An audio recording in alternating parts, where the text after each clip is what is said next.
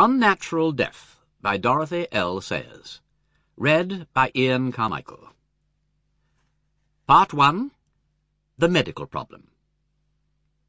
But how I caught it, found it, or came by it, what stuff 'tis made of, whereof it is born, I am to learn.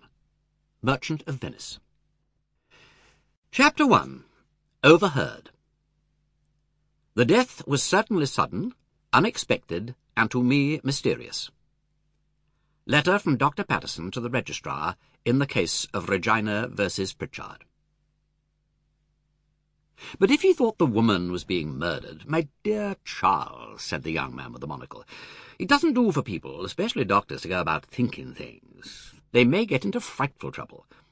In Pritchard's case, I consider Dr. Patterson did all he reasonably could by refusing a certificate for Mrs. Taylor and sending that uncommonly disquieting letter to the registrar. He couldn't help the man's being a fool.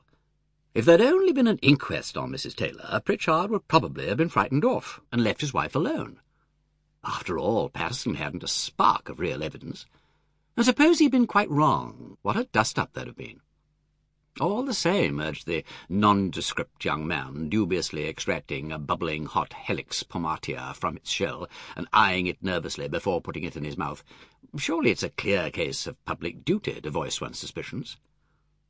Of your duty, yes, said the other. By the way, it's not a public duty to eat snails if you don't like 'em. Uh, no, I thought you didn't, no. Um, well, why wrestle with a harsh fate any longer? Waiter, take the gentleman's snails away and bring oysters instead. Uh, no, no, as I was saying, it may be part of your duty to have suspicions and invite investigation and generally raise hell for everybody. And if you're mistaken, nobody says much beyond that you're a smart, painstaking officer, though a little overzealous. But doctors, poor devils, everlastingly walking a kind of social tightrope. People don't fancy calling in a man who is liable to bring out accusations of murder on the smallest provocation. Excuse me. The thin-faced young man sitting alone at the next table had turned round eagerly. Um, look, it's, it, it, it's, it's frightfully rude of me to break in, but every word you say is absolutely true, and mine is a case in point.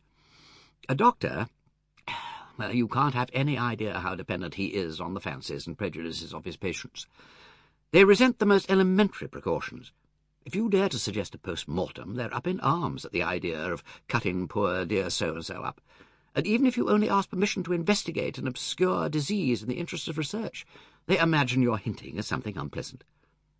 Of course, if you let things go, and it turns out afterwards there's been any jiggery-pokery, the coroner jumps down your throat and the newspapers make a butt of you and whichever way it is, you wish you'd never been born. You speak... Sample complete. Ready to continue?